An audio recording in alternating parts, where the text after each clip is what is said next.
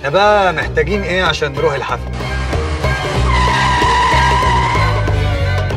هي مين دي؟ هيفاء وهبي. بعد الكلكعة بتيجي إيه؟ الشخلعة يا أخويا. وراها